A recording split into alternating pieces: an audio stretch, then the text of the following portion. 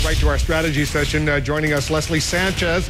There she is, Leslie Sanchez, right there, and Paul Begala, our uh, Democratic and Republican strategist. Leslie has a brand new book entitled You've Come a Long Way, Maybe, and look who's on the cover Sarah, Michelle, and Hillary, and the Shaping of the New American Woman by Leslie Sanchez. Congratulations, Leslie, Thank on the you. new book. Let's talk about some of the myths that you debunk about these three women in the book. Give, give us one. Uh, overall, well, they, they were labeled in the media as the ditz, the witch, and the media darling. I think the ditz, with respect to Sarah Palin, look, you have to Ditz, look at D-I-T-Z. D-I-T-Z. You know, there were so many people who underestimated her intensity, but also her prowess, her political ability to navigate what she was able to do in her state as a leader.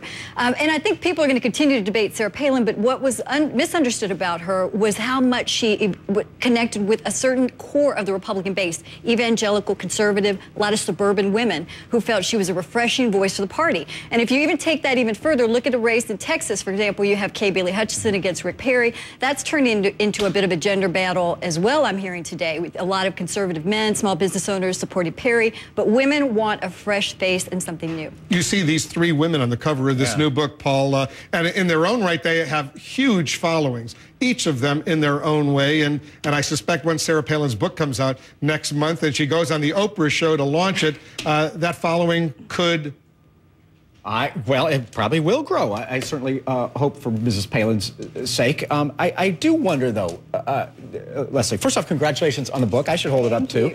Uh, I'm impressed. It's, it looks like a terrific book, and, and I, I, know it and will you're be. On, and you're on the back cover. And I did. I endorsed it, and Newt Gingrich did. So it's you can tell. Full disclosure. It is, uh, it is, it's got balance from both sides. But I wonder if Governor Palin really wants to ever run for office again. She clearly wants to have a national voice. She's got a platform. I think you're right. She has a base. But leaving that job in Alaska, uh, she said she didn't like the media, she didn't like the investigations and the criticism. Well, that's all that running for president is. Absolutely. An endless string of those things. So do you think she'll run again?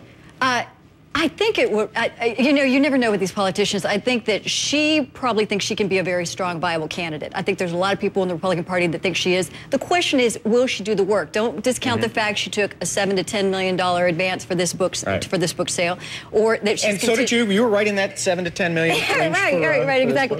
You know, but and I no, didn't go to Oprah. I'm here on the Situation Room. What and you actually wrote this that. yourself. Yes, yes. By the I way, did. like a lot of politicians, Mrs. Palin has a but- ghost. look, at these, honest look at these poll numbers because uh, Hillary Clinton. Uh, My favorable, my hero. unfavorable. Right now, uh, in our new CNN Opinion Research Corporation poll, she's at 65% favorable. Michelle Obama, 64%. Bill Clinton, 64.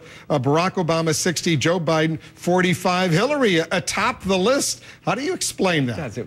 You know, it warms my heart. It, I think that hard work, competence, talent, and toughness, that all wins out over time. I, earlier in this broadcast, I think Candy Crowley made a very good point. We tend to like our politicians better when they're not running, and, and she's not now. But the fact that she was willing to go and serve, First off, you got to give the president enormous credit to pick his most bitter rival from the primaries and make her Secretary of State. But you got to give Hillary a lot of credit. She's got a heart for Do you service. believe and she took Michelle this job, Obama, after that. life as a first lady, will follow in Hillary Clinton's footsteps and go into politics? I don't think it's been part of her, the fabric of, of what she's done in her career. I think she's been tremendously successful and powerful and influential professional businesswoman. She set some examples for what the First Lady can be in the future. I think she's stretching those boundaries. And she's somebody I think we have to watch. Uh, I wouldn't put her in the mold of anybody else. I think she's defining her own. One thing I will say about Hillary Clinton is look at the fact she's no longer a lightning rod.